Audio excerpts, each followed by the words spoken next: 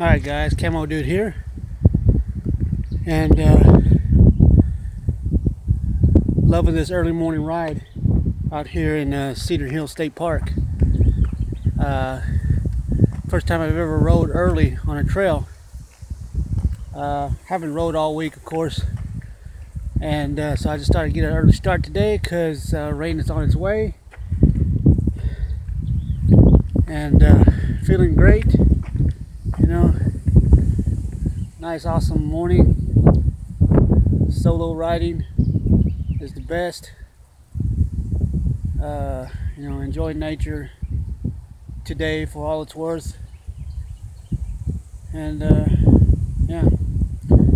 Today the dirt, the dirt trails tomorrow the concrete trails. The rain hits today I'm sure the trails the dirt trails will be uh, closed tomorrow which is Sunday.